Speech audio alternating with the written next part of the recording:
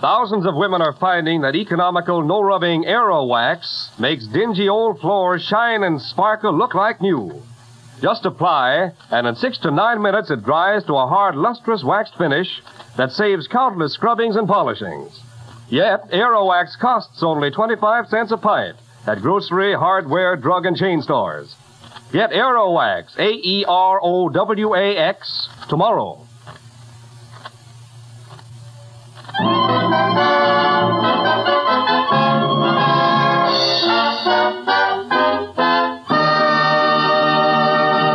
Mr. Keen, Tracer of Lost Persons, is on the air.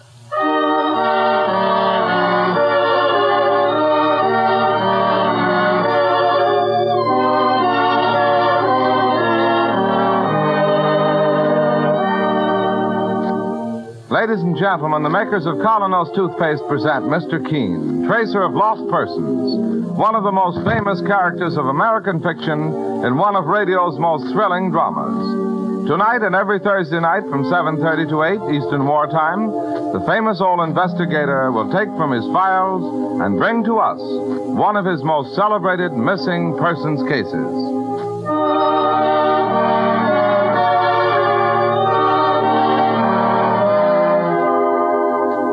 First, if your teeth are not every bit as bright and lustrous as they should be, resolve right now to bring out the natural sparkle of your smile with Kolynos, a high polishing toothpaste. You see, the new Kolynos acts on your teeth as a jeweler's polish does on tarnished silver, safely, gently removing dingy surface stains, thereby uncovering the full natural sparkle of your smile. Ask your druggist for Kolynos. K O L Y N O S. Kolynos toothpaste.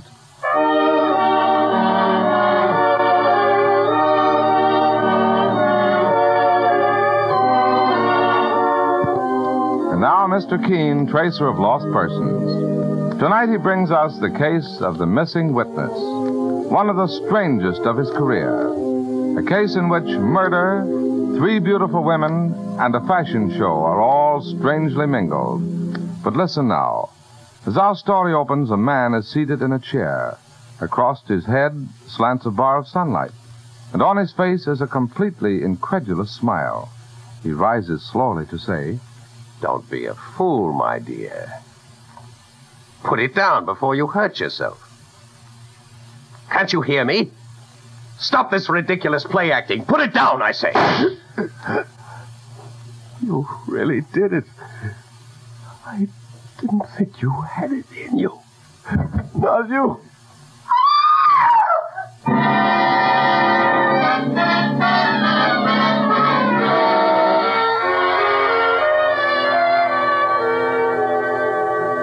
Now our scene shifts to the quiet office of Mr. Keene as his spinster secretary, Miss Ellis, enters to ask a favor. Mr. Keene, I wonder if I might get off early this afternoon. You want to do some shopping, Miss Ellis? Oh, no, no. I'm going to a fashion show. Why, Miss Ellis, I didn't know you were interested in fashion shows. What are you insinuating that I dress like a bag of potatoes? No, no, Oh, no. no, uh, no. As a matter of fact, Mr. Keene, it's something very, very special. You see, when I was living in Queens about 15 years ago, there used to be a little widow next door. Pretty little creature. Oh, such a struggle to make a living for herself and her daughter. I'd give her a bit of sewing every now and then to help, and. well, you won't believe me when I tell you her name. Try me. Mary Blaine. Today, she's the most brilliant fashion designer in America. Good heavens, that is interesting. She helped originate the little black dress, the dinner suit, the short evening gown. She's enormously famous and wealthy now. Yes, I read a piece about Mrs. Blaine in one of the magazines. It called her the epitome of the successful career woman. Well, she's giving her mid-season fashion show today, and she asked me to come for Auld Lang Syne. Hmm. Brilliant woman. Ah, Mary's the... Hey, look here, Mr. Keene. Why don't you come along and meet her? Oh, me at a fashion show? Oh, there'll be dozens of men there, and all in love with beautiful Mary Blaine. Oh. Oh, do come. Now you've nothing special to do this afternoon. Well, uh, uh, all right, Miss Ellis. I'll do it.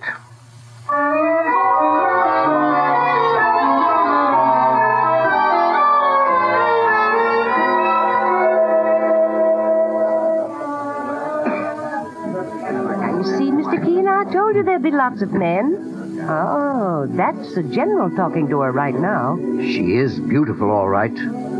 But she's paid a price for her success. Uh, How do you mean? There's an expression in her face of strain, anxiety. Maybe. Oh, she's noticed me. Here she comes. Isn't she stunning in that little gray number? Hmm. Miss Ellis, I'm so glad you could come. Well, thank you, Mary dear. And I took the liberty of bringing my boss, Mr. Keene. How do you do, Mr. Keene? Delighted to know you. I've been hearing about you for years from Miss Ellis. How wise you are, and how kind. Now, now, don't give away any secrets. but it's very sweet of you to break away from all those generals and things to say hello to just me, Mary. You were my friend when I was nobody. Well, you've always deserved the best friends in the world, Mary. And, uh, uh, oh, look, somebody's waving to you. Oh, oh, my manager. It's time for the show to begin. I'll have to get up to the microphone there to announce the new models as they come by. I'm so glad to have met you, Mr. King. The pleasure was mine. Yes, she's lovely and famous, but not quite happy. Oh, you with your X-ray eyes.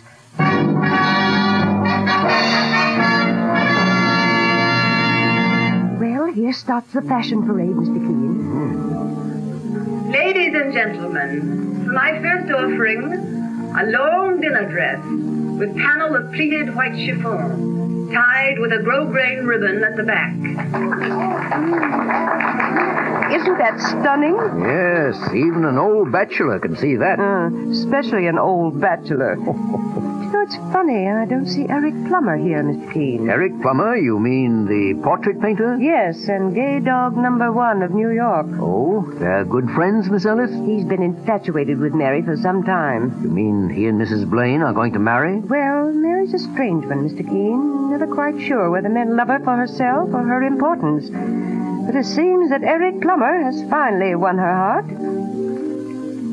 And now a black velour suit with lean plum-lined skirt. A double-breasted jacket with high scrolled lapels and a scrolled hip pocket. Oh, look, Mr. Keene, over there by the door. Yes, Miss Ellis? That charming little blonde, that's Mary's daughter, Bunny. Quite a young lady. it's hard to believe that Mary would have a daughter 18 years old. Yes, she's still so young herself. Hmm. Mary won't be too pleased about her coming here. Why? Well, Mary just likes to keep Bunny away from business and career and men of the world. Oh, Mary's learned to value everything old-fashioned. A little white house with chintz curtains. And... in other words, one of America's greatest career women thinks that a woman's place is really in the home. And a simple home. Miss Ellis, Miss Ellis. Hello, Bunny dear. Miss Ellis, how long has the show been going on? About 15 minutes. I must talk to Mother. I must. But, dear, she's up there at the microphone. You can see. Something horrible has happened. I must talk to her. But, Bunny, what do you mean? And now is my last offering before the intermission. Another short dinner dress.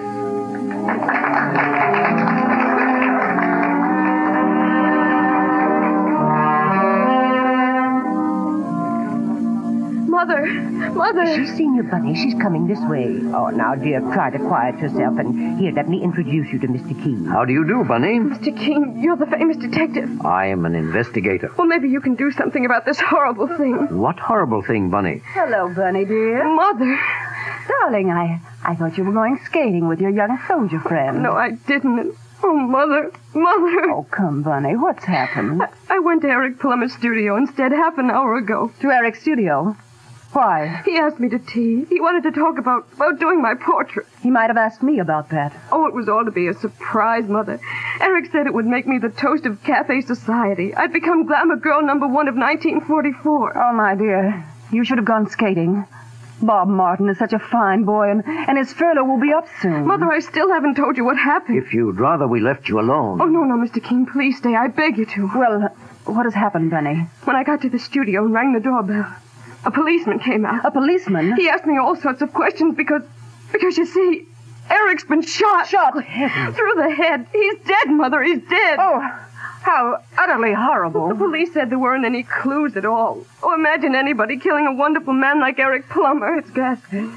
Ghastly. I want to find the person who killed Eric. I want to make them pay. And that's why I thought maybe Mr. Keene would- Yes, Mr. Keene. In a situation like this, you'd know exactly what to do. But if the police are already on the case, Well, one moment, please. Bunny, go over to Mr. LaRue and ask him to announce the rest of the show. All right, Mother. And you, Mr. Keene, would you please step into my office with me? Oh, forgive me, Miss Ellis. Oh, it's quite all right, Mary. Here. Here, Mr. Keene. Thank you. Well, my dear? Mr. Keene, Bunny's news did not altogether surprise me. Really? In fact, I know very well who killed Eric Plummer. You do? But first, Mr. Keene, I've heard you're the cleverest private investigator in this country. Thank you. Do something for me, please. Go to Eric's studio, examine all the evidence, and when you come back, Yes? I'll tell you who killed Eric Plummer.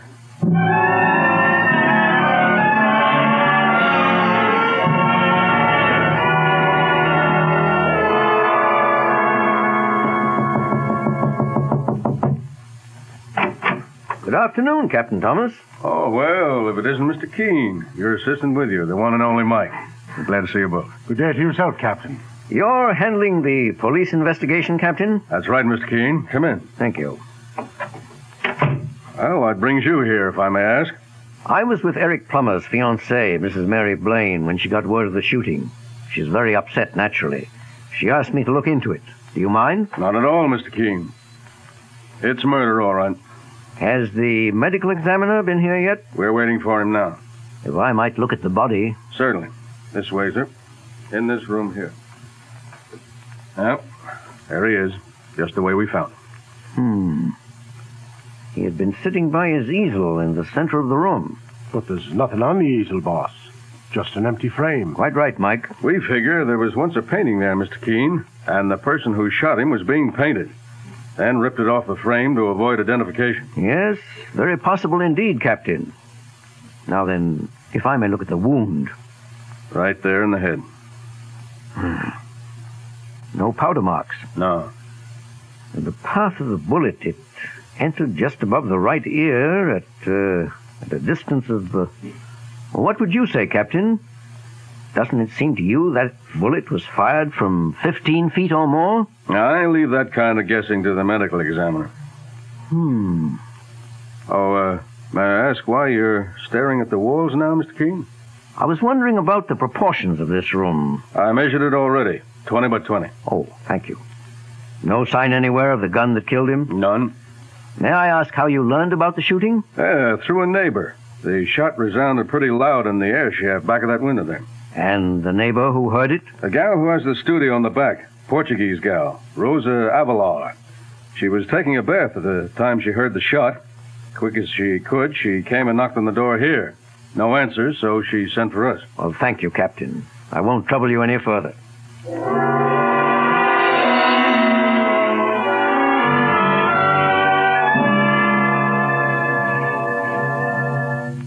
Rosa Avalar. This is her door, sir. All right, Mike. Wait for me on the landing below. I'd rather go in alone. Okay, Mr. Key.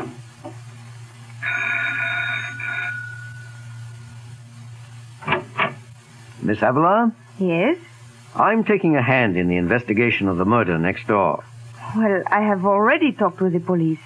Just one or two questions more. Why not? I want to help as much as I can.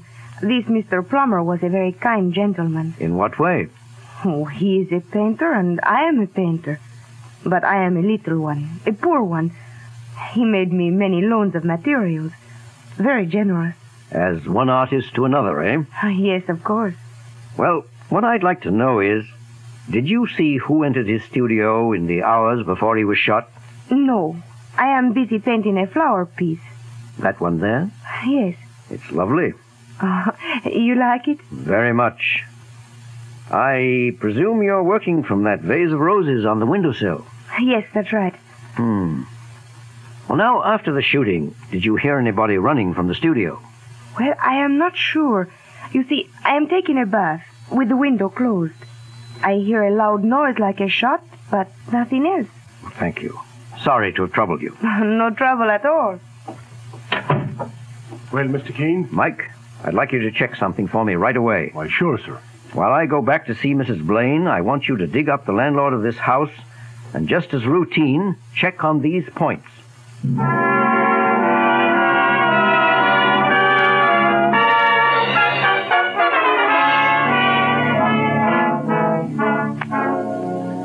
just a few moments, the scene follows between Mr. Keene and Mary Blaine. Meanwhile, remember, first impressions are usually lasting impressions. People judge you by the way they see you. They decide almost at once whether they want to know you better or not. And one of the greatest factors that influence everyone you meet is your teeth. If your teeth are dull and discolored by surface stains, chances are nine times out of ten that others find you unattractive. That's why I want to tell you about the new Kolynos toothpaste. It's a high polishing toothpaste. Thousands more people every day are discovering it does wonders in helping to remove from the teeth those dingy looking surface stains, so that the natural sparkle and brilliance is revealed. What's more, Kolynos is delightfully pleasant to use because it leaves your mouth feeling tingling clean and refreshed. For its action is like a jeweler's polish removing tarnish from a piece of silver.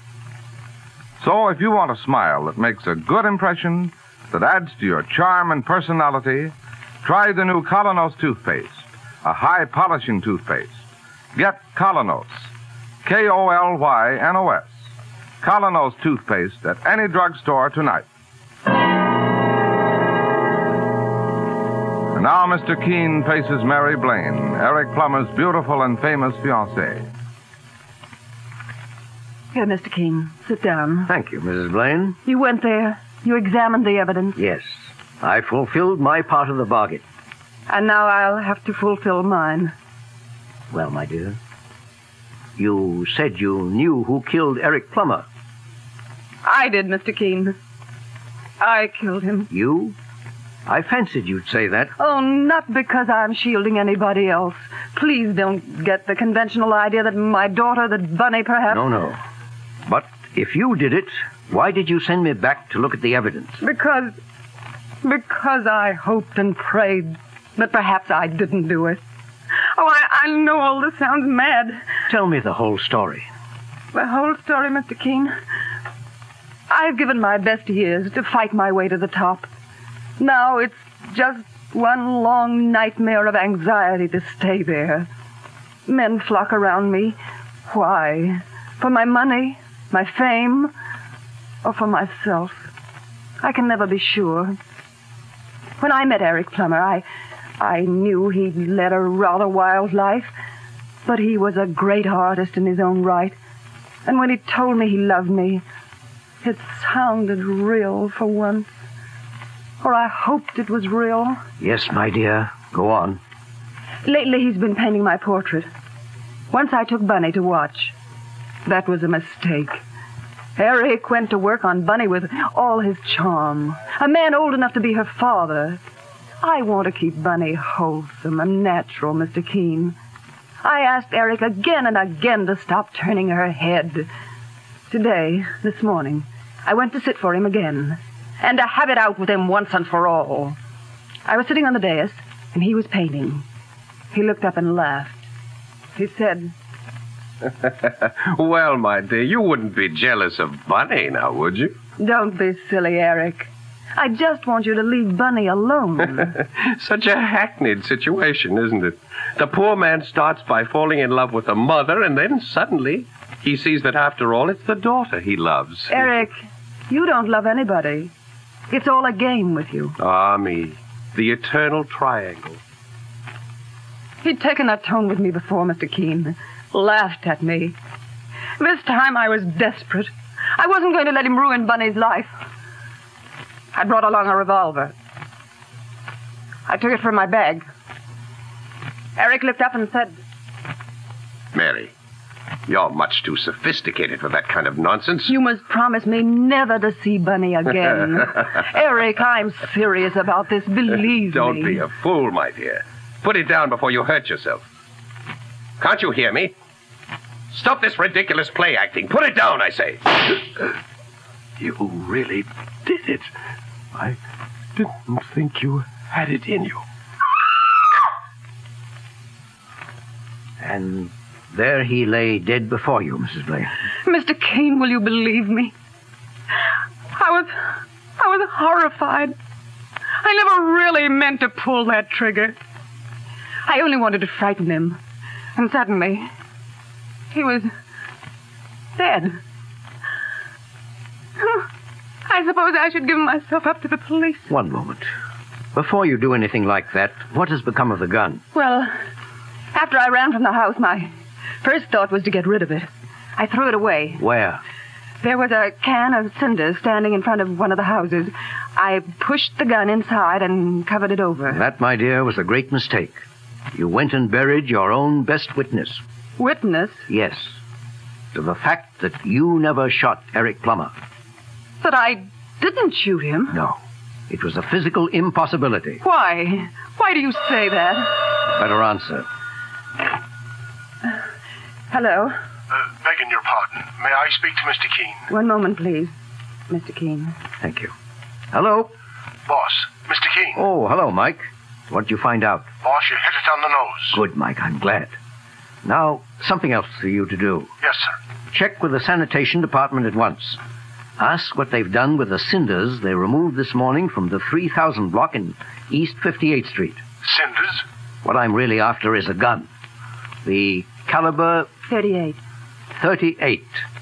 Mike, we must have it. Talk of a needle in a haystack. I know you won't fail me, Mike. Okay, sir. So you think I did not kill Eric? Strange, isn't it? That I have to get evidence to convince you of your own innocence. But if I didn't, who did, Mr. Keene? That, my dear, is another story, and a rather tragic one. Forgive me if I run along now.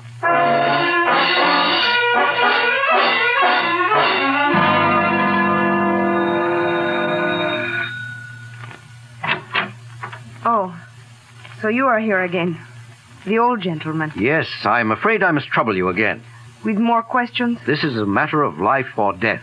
For whom? A woman, her daughter, other persons.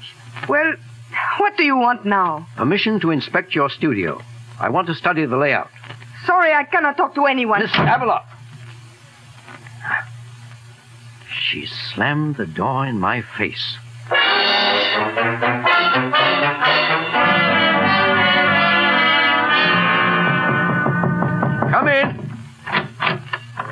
Good morning, boss. It's me. Not fit to stand in anybody's office. Why, Mike, you're all covered with ashes. Like a spectre risen from the grave. I've been digging through a mountain of ashes all night. Where? Oh, over on the East Drive. They were there taking it for landfill. Did you find it, Mike? Here you are, boss. Good work. Have a look inside. Mike, I'm going back to Mary Blaine's place at once.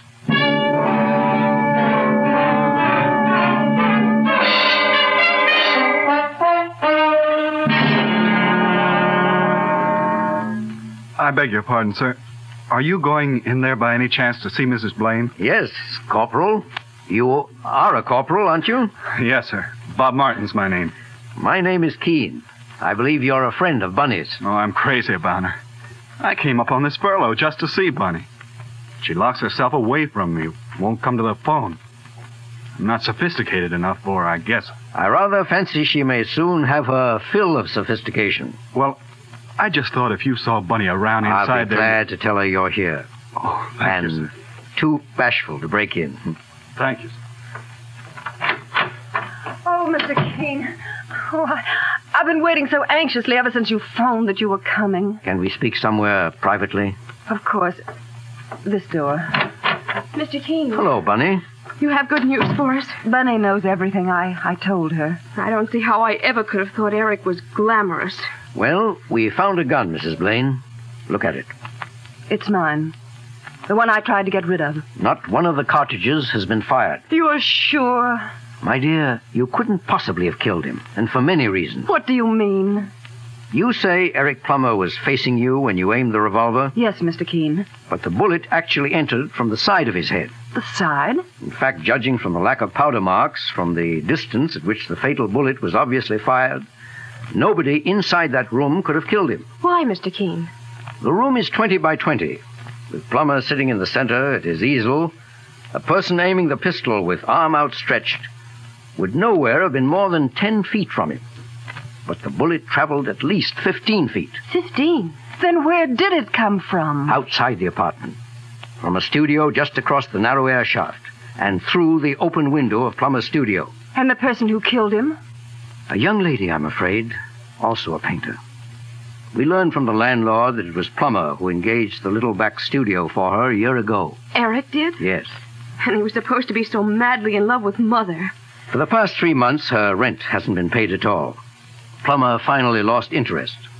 The young lady, Miss Avalar, seems quite hot tempered. Charm. Glamour. And in the end, murder. Come in. Oh, Mr. Keene. Captain Thomas. Your office said I'd find you here. I have a message for you. For me? It was addressed to the old gentleman. We figured out that means you. From from Rosa Avalar. Yeah. Read it. Old gentleman. You are very wise. You guessed the truth. And now I will save everybody's time by sentencing myself. Rosa Avalar. Oh, she. She committed suicide? Half hour ago, ma'am. I'm sorry about this. Truly sorry. Well, that closes the case. I'll have to get along now and write the police report. Goodbye, Captain Thomas. Mr. Keene, how can I ever thank you? You were innocent, Mrs. Blaine. I was happy to be able to help you. Eric. Everything about him was so mean, so heartless. That reminds me, Bunny, I believe there's a boy, a very bashful one, who's hanging around outside. Oh, not poor Bob. Yes, poor Bob. A boy your own age, with ten times the real glamour of a man like Eric Plummer. Oh, poor dear, he must be furious with me. No, just dying to see you. And my dear, whenever you're tempted to see glamour in a man like Eric Plummer, remember that all that glisters is not gold. Often you have heard that told. Gilded tombs do worms enfold. How terribly true. I've realized it for a long time. And now, so do I. All right, Bunny. Run along with you and make that poor, bashful soldier happy.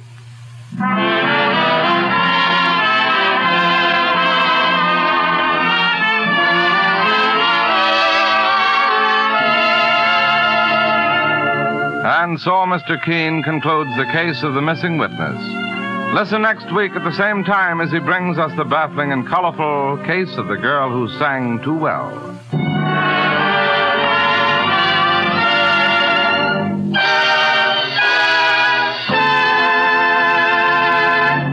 Every girl and woman knows that in order to be popular today, one of the most important things she needs is an attractive smile. A smile that reveals clean and sparkling teeth.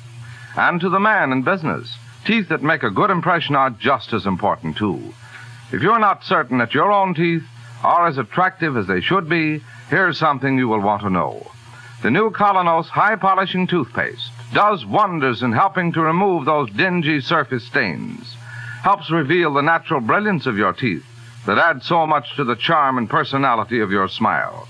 I'll tell you why it does this. Its action on teeth is like that of a jeweler's polish on tarnished silver. So start using Kolynos, a high polishing toothpaste, yourself, right away. You can get Kolynos, K O L Y N O S, Kolynos at any drugstore tonight.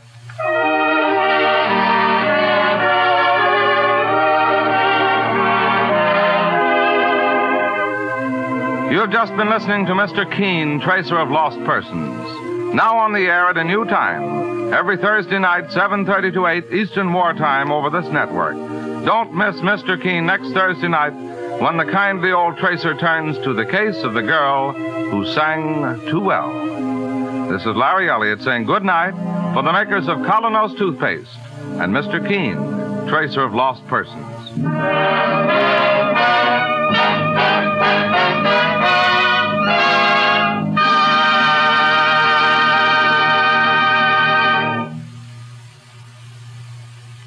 Ladies, there's a wonderful new way to make floors sparkle like new in six to nine minutes flat. Use Aero Wax, the self polishing wax that goes on in a jiffy, dries without rubbing.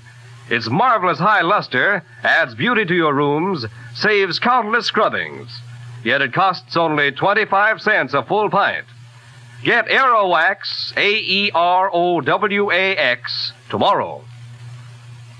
This is the Columbia Broadcasting System.